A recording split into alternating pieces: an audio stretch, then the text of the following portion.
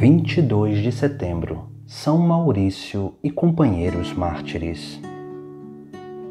Maurício nasceu por volta do século III em Tebas, no Egito. Durante o império de Diocleciano e Maximiano, entre as legiões romanas havia uma chamada Legião Tebana. Era formada por 6.600 homens, todos cristãos cheios de tanta fé e piedade que parecia uma comunidade religiosa.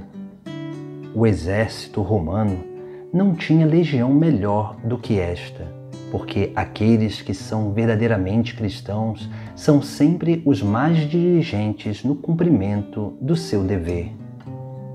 O líder desta legião era Maurício, criado entre as forças armadas combinou a coragem com um amor verdadeiramente admirável por Jesus Cristo e praticou fielmente as máximas evangélicas. Um dia, Maurício recebeu ordens do imperador para ir para a Itália, para se juntar ao resto do exército romano e ir para a Gália contra os Bagaldi agricultores, pastores e nômades da Gália, ainda ligados às suas tradições celtas. Maurício, como sempre, em todas as coisas que não se opunham à lei de Deus, obedeceu prontamente.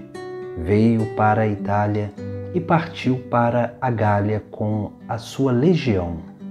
Tendo chegado a Valésia, perto de Agalno, o imperador ordenou uma parada, durante a qual ordenou a todos os soldados que testemunhassem os sacrifícios e jurassem massacrar todos os cristãos.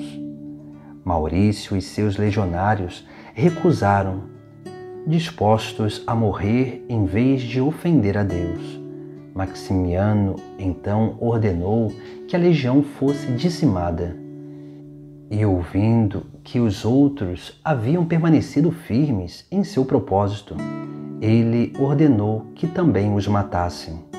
Mas aqueles intrépidos heróis, invejando a morte dos seus companheiros, sobre os quais o destino recaiu, enviaram este protesto ao imperador Senhor, somos teus soldados, mas ao mesmo tempo servos de Deus, e glorificando-nos nisso, fazemos uma confissão espontânea disso. Devemos o serviço militar a você, a inocência a Deus.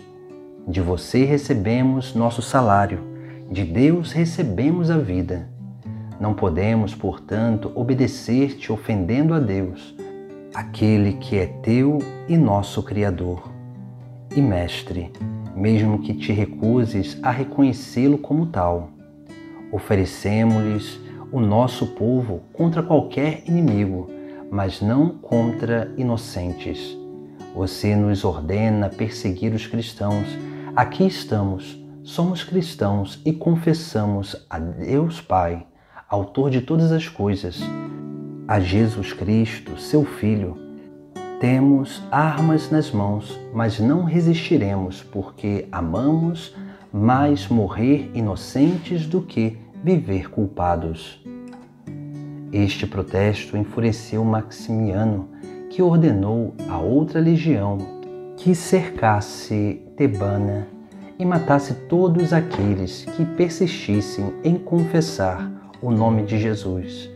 Aqueles valentes, se quisessem, certamente poderiam ter se defendido com armas, e o próprio céu talvez tivesse vindo em seu auxílio. Mas preferiram dar a vida por Jesus Cristo e em pouco tempo foram todos massacrados. São Maurício e companheiros mártires, rogai por nós.